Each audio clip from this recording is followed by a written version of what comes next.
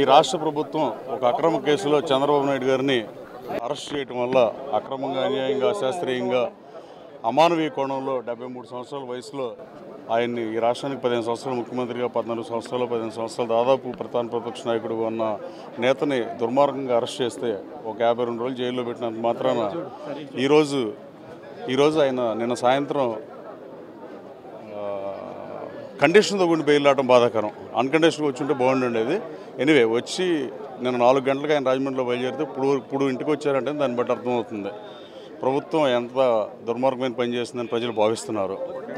అలాగే fourteen and half hours పట్టిందంటే రాత్రిపూట అయితేనే ఇలా ఉంది? అలా పగలైతే ఎలా ఉంటుందో మీడియా సోదరు మీరు ఆలోచించవచ్చు.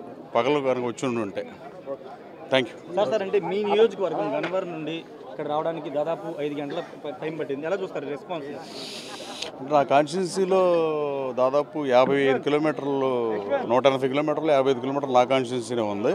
అయినా తెల్లారి వరకు ప్రజలు వెయిట్ చేశారంటే ఎలా ఉంటుంది? మామూలుగా ఇదేమైనా సినిమా చూస్తాం కాదు కదా. ఒక నాయకుడి కోసం వేచి చూస్తున్నారు కాబట్టి రాత్రి ఎనిమిదింటికో ఏడున్నరకు రోడ్డు మీదకి వచ్చిన వాళ్ళు ఇప్పుడు వరకు దాదాపు నాలుగున్నర ఐదింటి వరకు ఉన్నారు నా కాన్స్టిట్యున్సీలో ప్రజలు.